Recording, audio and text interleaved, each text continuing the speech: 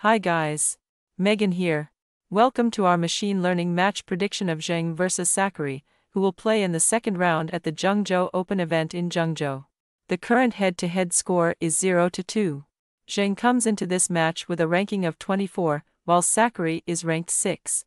Of their last 10 matches played, Zheng has won 7, while Sakkari has won 8. The MatchStat.com prediction algorithm uses about 190 variables.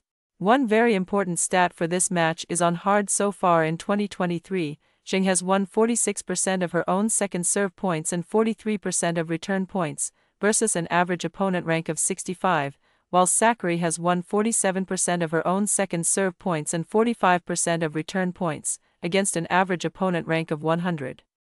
Here is our machine learning prediction of this match. For more in depth analysis, head over to MatchStat.com.